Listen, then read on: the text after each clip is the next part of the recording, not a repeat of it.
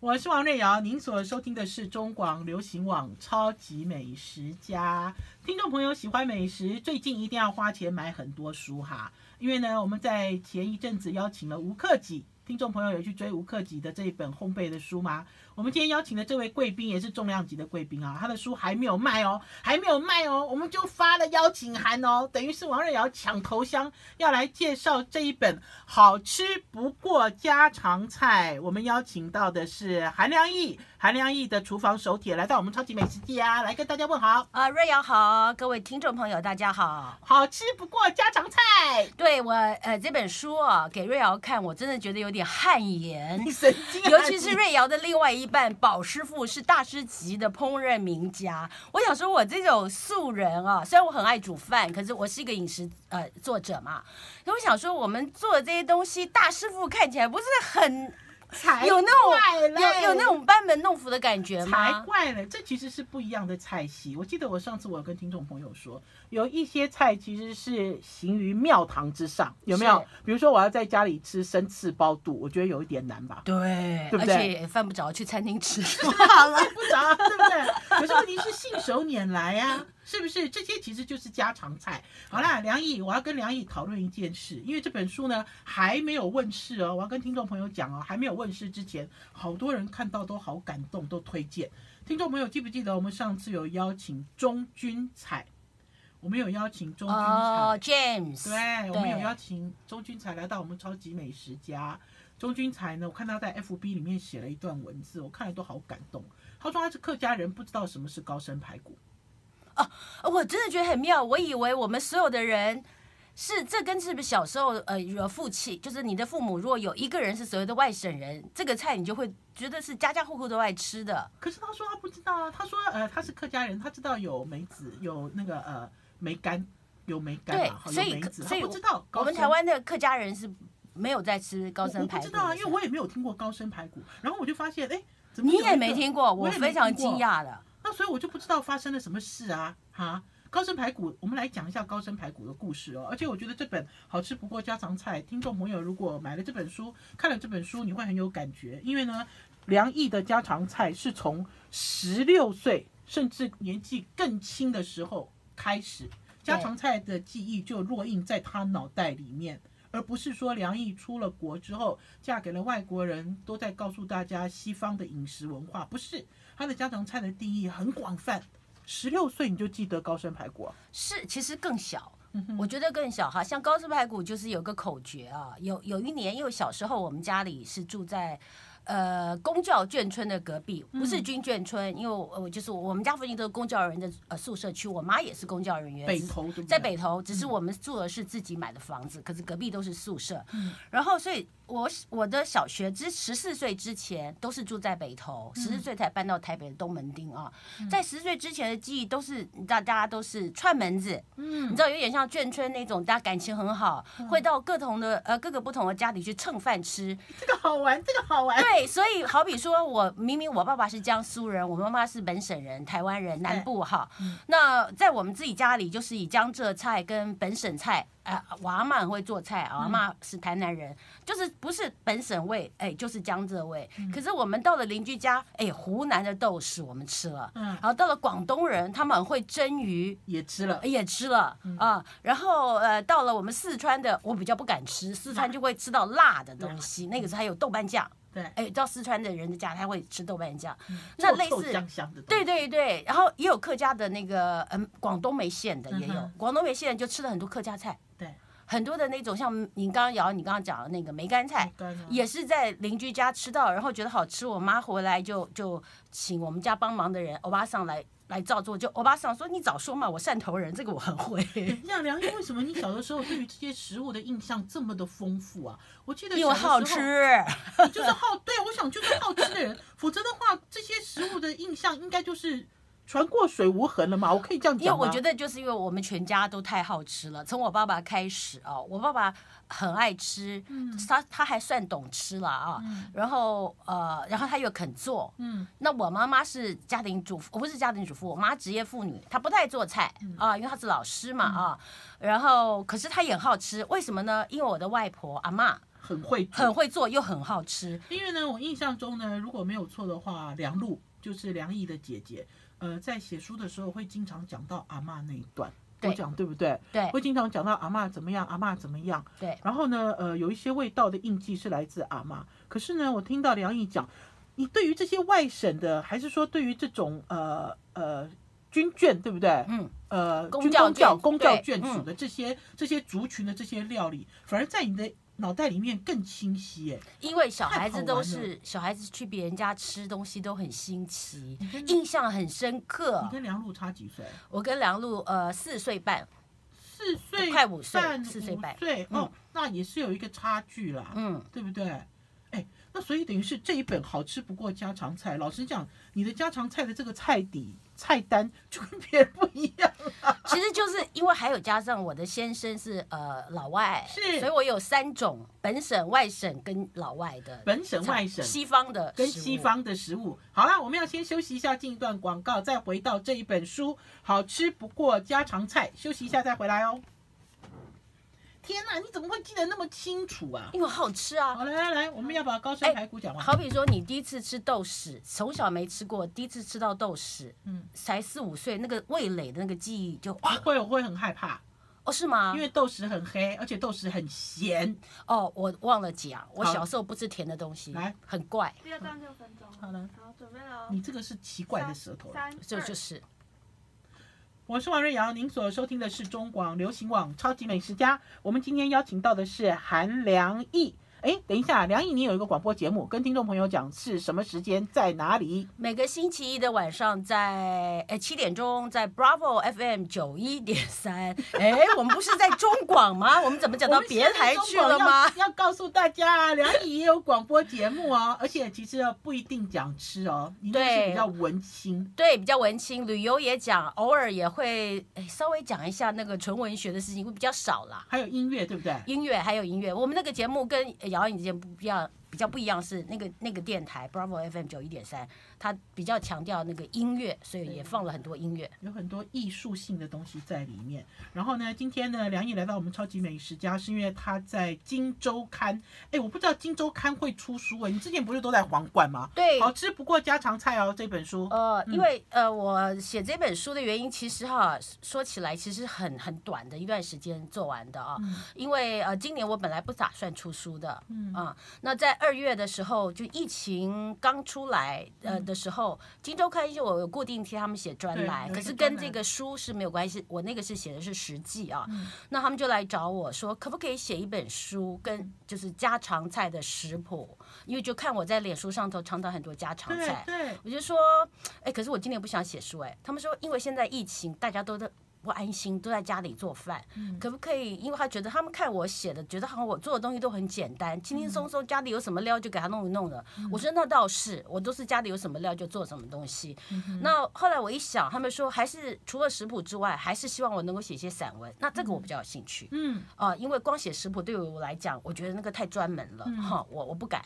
可是如果是加上我自己对食物的呃散文，还有一些记忆，像刚刚瑶瑶刚刚讲，我写了很多小时候家里的菜的记忆啊，我觉得这个可行。所以我在呃二月份答应他们，我们八月份就出书了。好快这在哦这在是很快，因为我很快我就写的很快。因为我是梁毅的连友，我知道梁毅会经常在他自己的 FB 里面 PO，呃，今天吃了什么，在家里做了什么，嗯，呃，可是老实讲，读起来并不过瘾了哈，因为梁毅呢是要吃饭的吧，还是要怎样？因为就是我懒得写那么多字，就只有写一个很短的短篇的文章，对对，大概十二十个字吧。对，可是这个书哦超过二十字啊，就比如说一个短篇，告诉他说哦，我到市场里看到什么，所以我说我做了一个什么东西。啊。可是这本书不是哦，这本书我那天我就看到了钟君才，嗯。我看到了钟君才在 FB 写了一些分享文之后，我忽然间就有很有感，我说嗯。哇，这本书不太一样，这本书并不是我印象中认为梁毅把 FB 哦里面的东西把它集结，不是这个意思，嗯。是真正的从他的。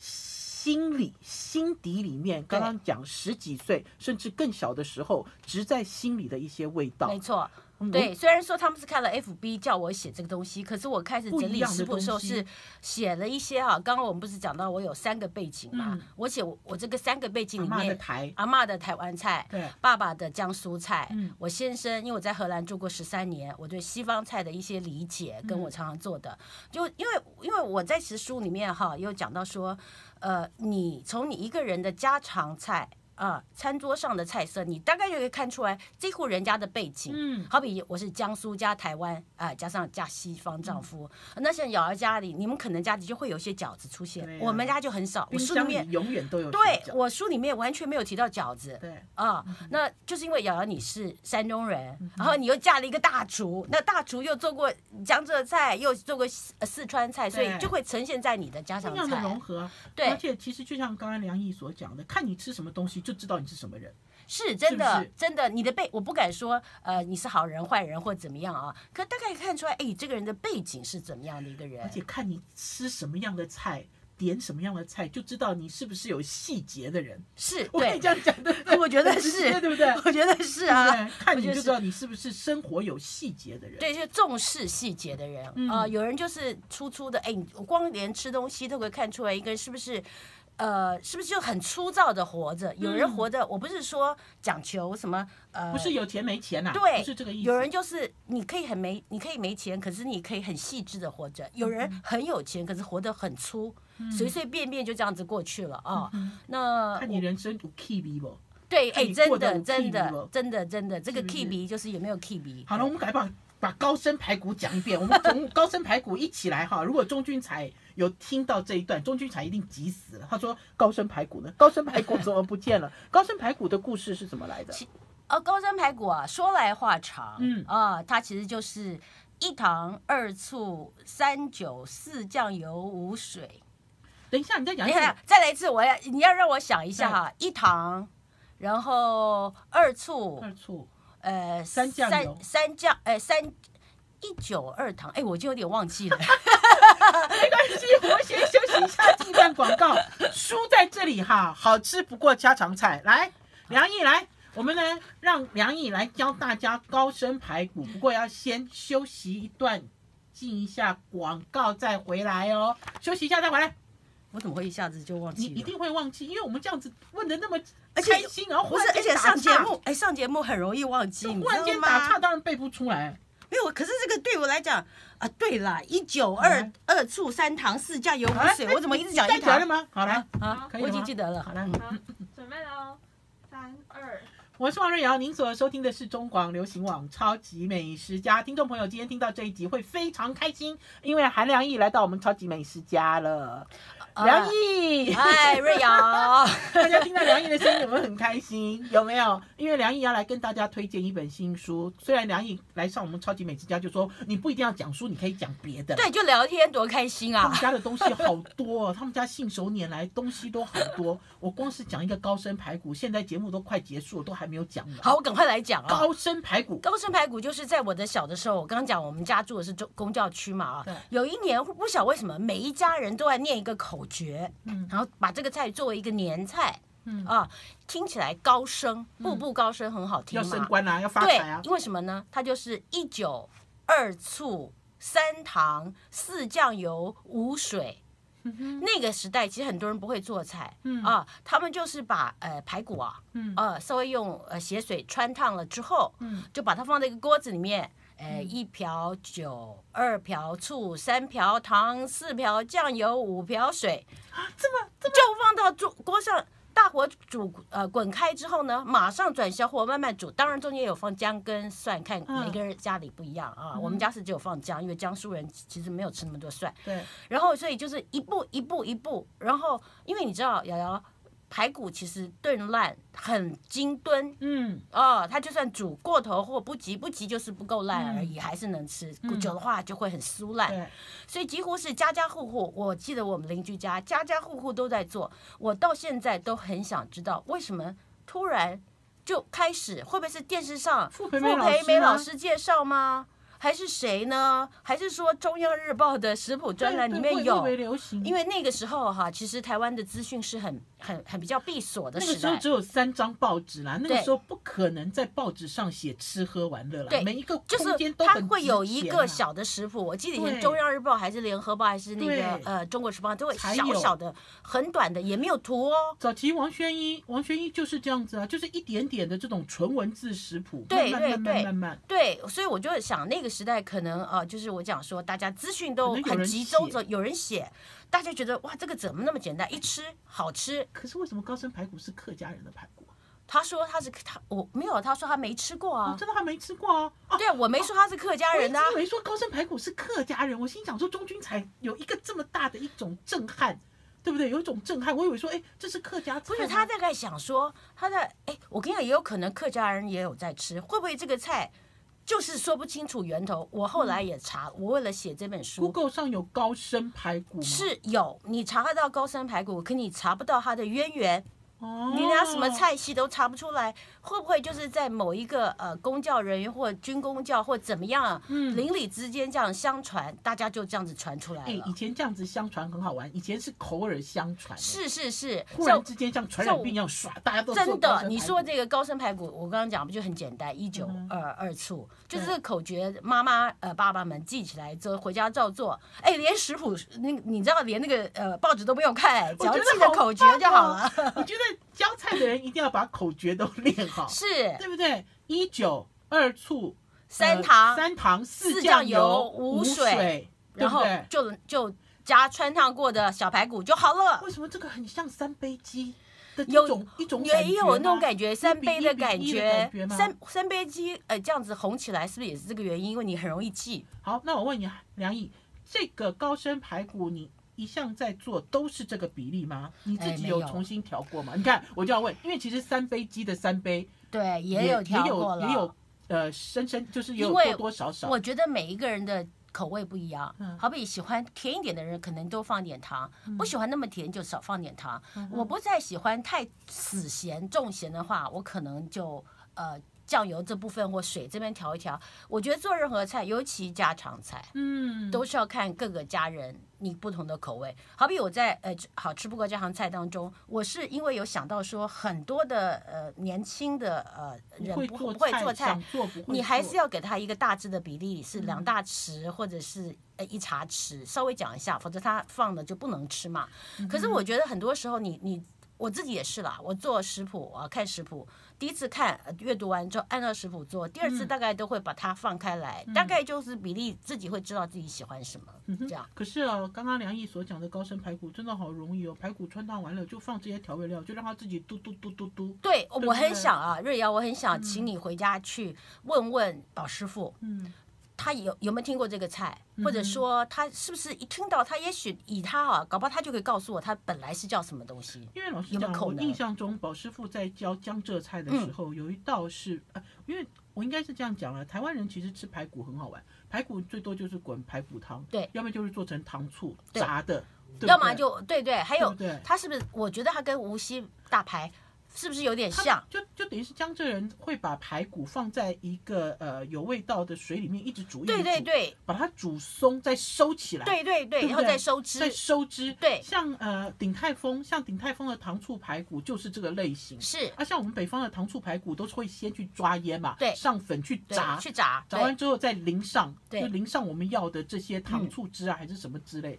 所以我第一次吃到，呃，就是直接把排骨放到这种糖醋水里面去煮，我觉得效果不一样，也很好吃。嗯因为它高升就是这样子、就是这。样子啊。其实高升就有点像是呃没有炸过的红烧排骨。对不对？哦，然后就是很家常，嗯然后不用起油锅，所以我觉得，我觉得很多家庭会那个时候会流行起来，起码在我们家那一边啊，嗯会流行起来，可能就是因为它的那个门槛很低。嗯，还有就是梁毅刚刚有讲啦，就比如说很多人很想要在家里煮饭做菜，可是老实讲哈、不是一触可及，尤其现在大部分的家庭都不做菜，所以小孩子没有学习的方法。嗯你看以前你跟着阿妈还是跟着爸爸。你可以在厨房里面看嘛。对你其实有一些东西是学习，像宝师傅也是，宝师傅其实有开课在外面，嗯而且教的都是社会人士，有那种不会做饭的人来报名，中途就逃走，因为他不懂，他听不懂对我我要跟听众朋友讲哈，怎么解释他都听不懂，好，连最哦简单的所谓的呃，我我们超级过油他都听不懂，很可能，对对不对？对，连过就保师傅也要解释过油跟油炸有什么不一样，嗯然后甚至于我记得我们超级美食家也有有听众朋友来问川烫是什么，哦，他得你可能讲撒一撒几他没有没有我就讲懂了吗川烫哦，他也听不懂。对起油锅，或许有人会讲说起油锅，起油锅是什么？好，就是哦，完全不做菜的嗯人就是没有办法理解。我甚至有一次写文章，我写落盐，有听众朋友说落盐跟放盐有什么不一样？讲说，哎，落言是文青，好不好？王瑞瑶想要文青一下，落落一下都不行吗？一定要写放盐吧才可以啊。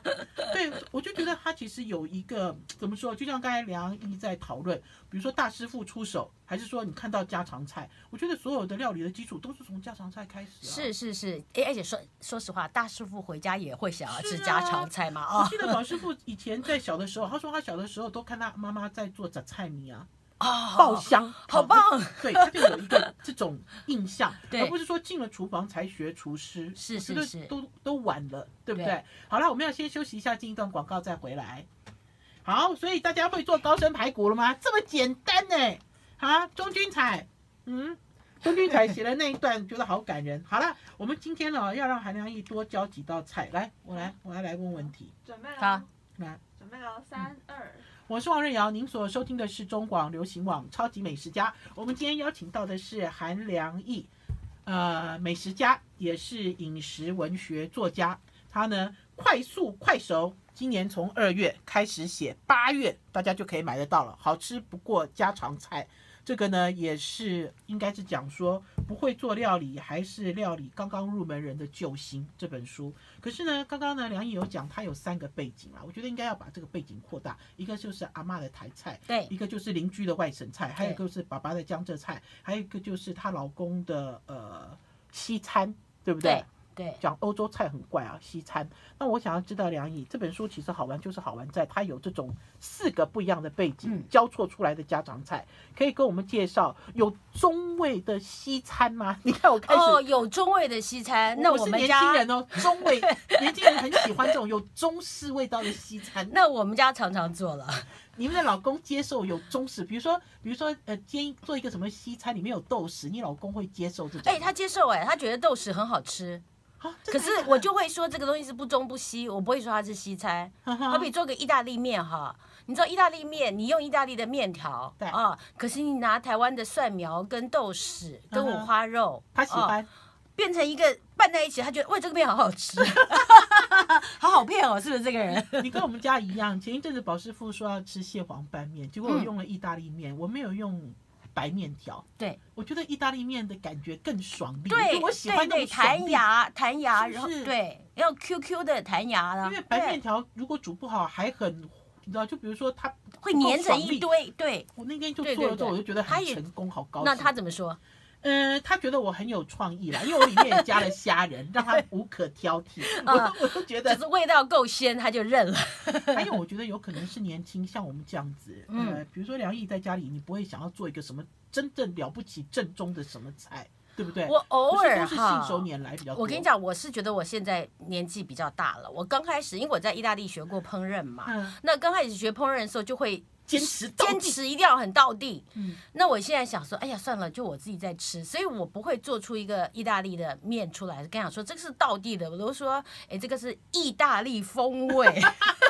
这是有意大利意 feel，对对对，可是我不说它是意大，就是意大利波隆纳面，no，我会说这是意大利风的番茄面，这样子可以稍微这个呃不跟这个鱼道地无关，可是合口味。可是我觉得这个就是家常菜的主流啊！你不觉得年轻人现在所接触的食材跟我们以前都接触不一样？比如说要叫他们做一个麻婆豆腐，有办法吗？可是他如果可以做一个辣味的豆腐，它会、啊，没错，的确，像我在好吃不过家常菜里面，嗯我就做了一个麻辣豆腐，嗯然后请我的好朋友女生吃，她一吃说这不麻婆豆腐吗？我说 no no no，这不是麻婆豆腐，因为我的不够到地。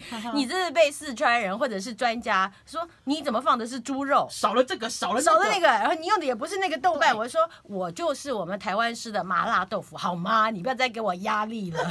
可是好吃啊。对，可是他说，可是好吃，我说对啊，重点就是好不好吃。好，教大家做麻辣豆腐。可是这点要特别再跟听众朋友提醒哈，因为呢，它的名字叫麻辣，不是麻婆，所以你不能设定它为麻婆豆腐，对不对？对怎么做？你怎么处理一块最简单的豆腐？啊，我通常哈，我要是有牛肉就用牛肉嗯绞肉，要是有猪肉我就用猪绞肉，我没有那么仔细，我都去买绞肉回来的。嗯然后我首先最重要，你有几个材料嘛？嗯花椒一定要有、嗯啊，大红袍嘛，那你有花椒油那更好。嗯然后你要有豆瓣酱，呃，有蓟县的很好，没有用我们台湾的冈山的豆瓣酱也可以啊。嗯然后你要有葱、姜、嗯蒜。嗯。我我的做法这样子，我通常我从头开始讲，我会先把花椒呃煎香之后，嗯，把花椒拿出来，然后我会呃炒肉末，它要花椒油啦，就自己先炼一个花椒油。对，然后我会呃炒肉末，把它炒酥之后啊，炒的已经酥酥的，一粒一粒一粒，这样看有点酥酥焦黄的感觉，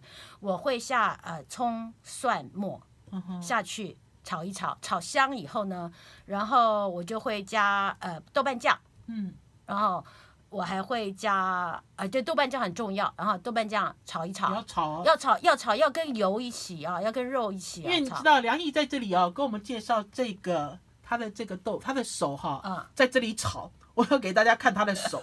一直炒，一直炒他。刚才豆瓣酱下去的时候，他的手，就在那边炒炒炒炒炒豆瓣酱下去之后，炒下去之后呢，炒出香味来的时候呢，我这时候有时候我会放呃葱末嗯啊，因为葱不能炒太久，对我会放葱末嗯。炒了之后，我会淋一点点酒，因为我喜欢绍兴酒，我就会淋一点绍兴酒啊，然后我会加水，热水，我通常偷懒会加热水。嗯。然后呢，豆腐我喜欢用板豆腐，哦，板豆腐，板豆腐啊，板豆腐我会把它先用热水烫过嗯。啊，再捞起来，就切小丁嘛。嗯。然后烫过之后，把烫过的这个板豆腐啊，放到我刚刚已经煮滚的那一锅酱汁当中，嗯然后就让它煮大概十分钟左右，不会太久，因为其实光有有不不没有入味这个事情，因为它其实汁要挂在上面，而不是因为它豆腐一直会出水啦。对，你就大概先烫过之后啊，哎，我对不起，我烫的时候我是用盐水烫的，哦，这样更容易盐开水，对对，盐开水烫的，然后再把它放起来煮大概十分钟左右的时候呢，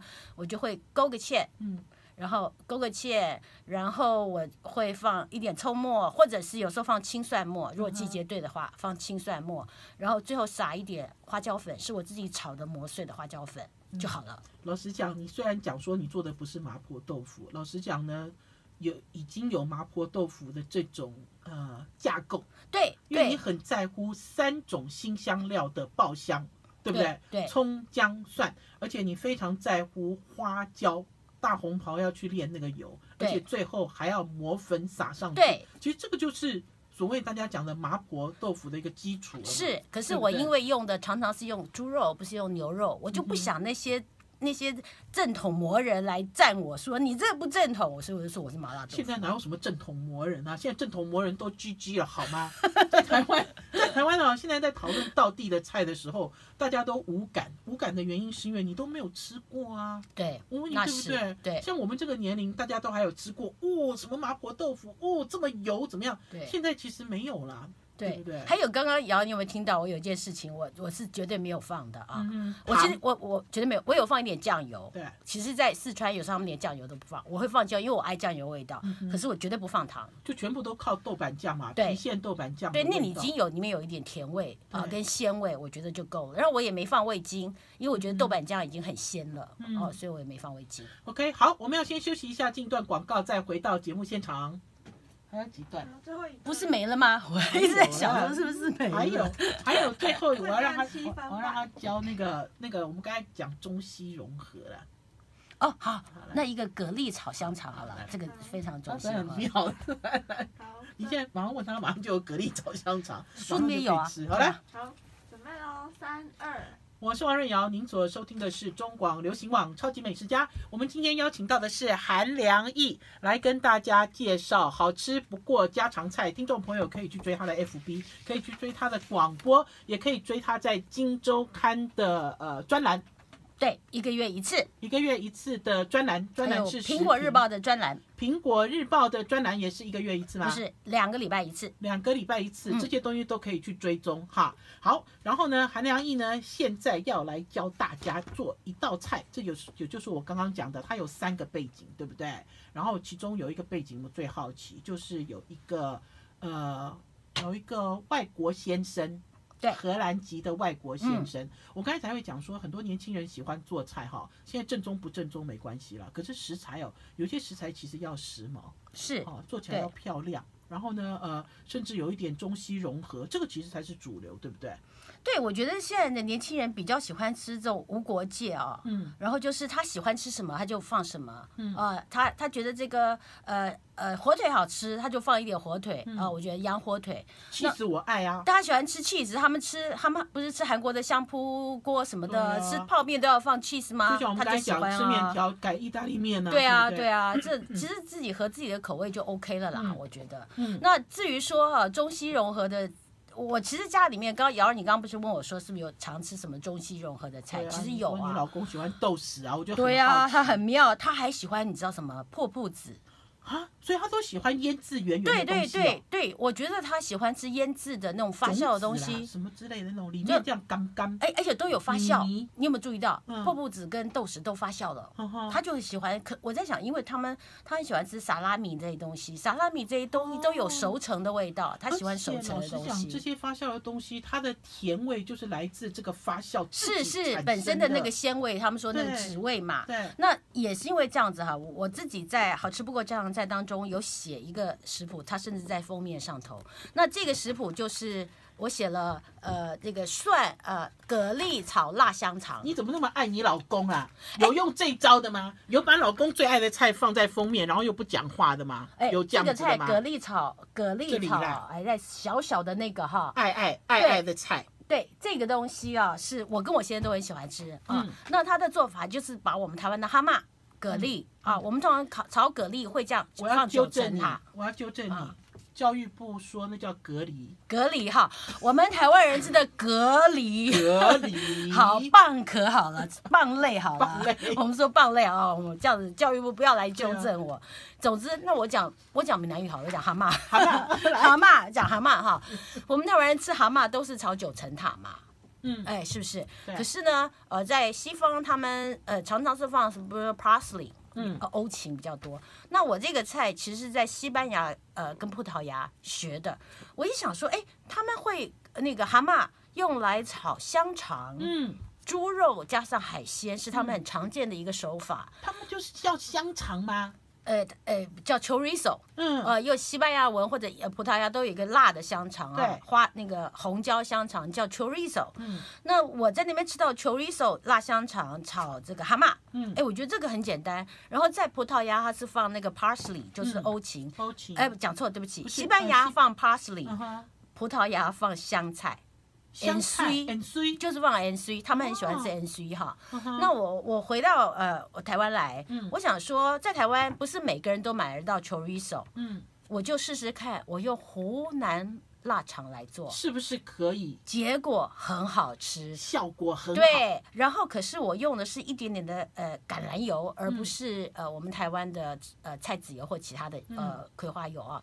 我用，然后我基本上是就是把你大概很简单，其实不用放姜哦，跟台湾不一样，一点点蒜头，然后加上这个呃呃蒸过的湖南腊肠，切片之后。哦要先蒸过，先蒸过，炒一炒啊，嗯然后那个油会出来嘛，嗯所以你油只要一点点。腊肠油出来之后，你把蛤蜊放下去，嗯然后稍微炒一下，盖个盖子，然后哎，我忘了讲，前面要放一点白酒，嗯。呃，如果你要洋味，你就放白白葡萄酒。酒；嗯。如果你不要洋味，你要这个咱台湾味，你放米酒、嗯。呃也可以，清酒随便你啦，就是让它有点这个酒香出来。然后盖起来一下，呃马上呃大概很快两三分钟，蛤蜊壳都开了，你稍微拌一下。就可以起撒一点香菜就可以起锅因为腊。肠已经熟了嘛，就不用是担心是，，不用担心，心。对，不而且啊，为什么用湖南腊肠不用我们台湾香肠？不会那么甜。哦，而且有的湖南腊肠它有加，我有试过有加花椒很多是的，我有试过，，也也不就它的错，风味也不错。对，不错。我自己，其实还蛮喜欢 chorizo，可是 chorizo 真的比较麻烦啦，比较你不是在每一个地方都买得到啊，你要去那有卖进口的东西，价钱也比较多贵，所以我就我就想说，如果你不你不考虑价格哈，然后嗯你家里附近有买得到，用 chorizo 会完全就变成西班牙跟葡萄牙味了。而且我看梁毅在做这道菜的时候，哈，湖南腊肠放很多，不是配角哦，等于是双我这个。其实图片上是 chorizo 西班牙腊肠，我放很多，不惜血本，对呀、自己要吃。哎，我们虽然要来拍呃食物照，还是要吃啊，自己要吃到要多放一点。老实讲，两种相同的颜色有差哦，因为是是 chorizo 很艳红，对对不对？对对，湖腊肠没有那么红。可是我觉得风味上还是风味上还是有一点相近的感觉是，然后如果用这个 chorizo 的话，就今天吃西餐，嗯你这个剩下的汁哈，可以拿来拌意大利面，超好吃的。哦，一菜两吃更好，是，大家更喜欢这样子的做法，对不对？那如果是今天吃中国菜的时候啊，嗯我觉得放湖南腊肠。很不错，嗯会跟别的中菜很搭，你不会觉得说怎么突然来了一个不中不西的东西不西。中不西。还有这本书哈、我看到梁颖你有写几月几月，是对不对？因为我呢就想到说，呃，想跟月份啊，尤其是我们那个呃台湾的农业正月葱，嗯二月九，我就想说这个是农历嘛对，就大家讲说，哎，农历的呃正月就是阳历的二月，我们来吃点葱吧，所以我就写呃那个葱爆。呃，三三葱爆牛肉类似这样子的食谱，那韭菜就写一个韭菜花的食谱，这样。嗯哼，我觉得比较有趣啊，就是等于是翻一翻出现了这个月份的时候，你自己就会知道到底这个月有什么东西对什么东西出什么东西什当又可以令大吃，对对对对，又便宜又好吃的时候，然后来买这个东西。所以很实在啊，这本好吃不过家常菜，不光是有家常菜的一些教做的经验，有梁毅的一些短篇文章，然后甚至于还有季节感，全部都融在里面了。这个其实也算是梁毅。呃，梁毅今年几岁啊？你五十了吗？有吗？当然有啊，当然有对半白老妇。半白老妇，半白老妇的十之经验谈哦，等于是生活的经验，才可以在这么短的时间之内，立刻可以集结出书，让大家一起分享，对不对？嗯好有趣哦！这个不光是做菜信手拈来，写书也是信手拈来，最是自然不过。好啦，好吃不过家常菜，推荐给听众朋友，大家也可以继续去追追追踪。我差点讲追逐，不行，追踪而已嘛！大家可以继续去追踪。谢谢梁毅，下次再聊天，谢瑞瑶，拜拜，谢谢啊，拜拜。